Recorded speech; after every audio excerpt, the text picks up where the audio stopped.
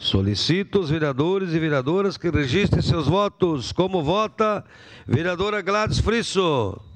Eu voto sim, senhor presidente. Obrigado.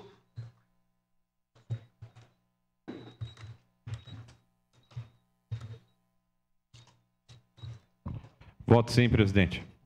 Lucas Dil vota sim. Voto sim, senhor presidente. Marisol Santos vota sim.